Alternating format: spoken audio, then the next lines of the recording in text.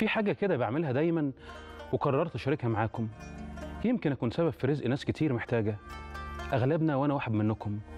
بنروح أول الشهر نشتري حاجة البيت كلها من hyper كبير أو سوبر ماركت كبير. لكن أنا بعمل حاجة كده بتحسسني إني بساهم وإحساسي إني موكل من ربنا ده شيء بيريحني مع كل تعاملاتي مع البشر. أنا بجيب كل شهر حاجتي من السوبر ماركت أو من hyper. ما عدا حاجات بسيطة كده بقرر أجيبها من المحلات الصغيرة اللي حواليا. شوية خضار على شوية فاكهة عصاير بقى وشوية حاجات للولاد للبيت. بالطريقة دي كل الناس هتشتغل وهتاكلها بالحلال. ومش هتيأس ولا هتتدين ولا تمشي في سكة غلط. وبكده أبقى نفعت كل الناس. والمحلات الصغيرة اللي بتبدأ وتقول يا هادي والمحلات الكبيرة برضه بتشتغل لأن فيها موظفين وراهم كوم عيال.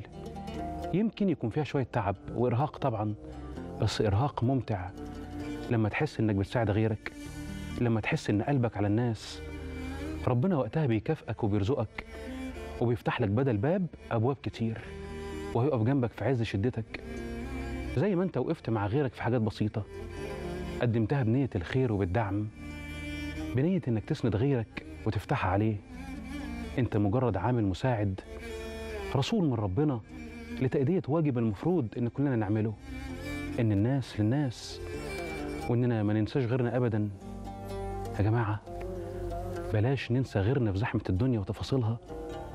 أنا عارف إن الحياة مليانة ضغوط وسرعتها بتخليك تنجز دايما في كل حاجة.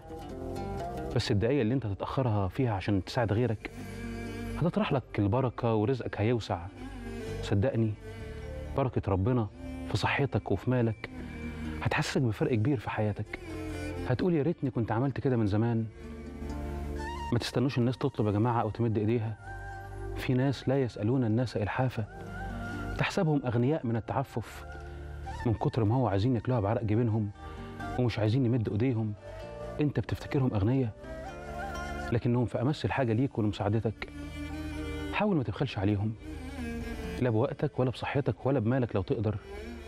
هتحس إنك اتغيرت والرزق يبقى حصيرة واسعة هيساعك وهيساعهم لأنه من عند ملك الملوك اللي خزائنه مليانة وما بتخلص.